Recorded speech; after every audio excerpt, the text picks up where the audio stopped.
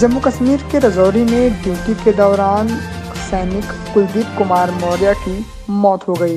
इसके बाद उनके पार्थिव शरीर को एक एंबुलेंस से घर भेजा गया, जिससे क्षेत्रवासी नाराज़ हो गए, आक्रोशित हो गए।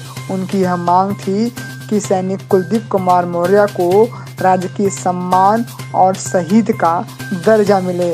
ऐसे में क्षेत्रवासियों ने पूरे सड़क को जाम किया और अपनी मांग को लेकर अभी भी अड़े हैं।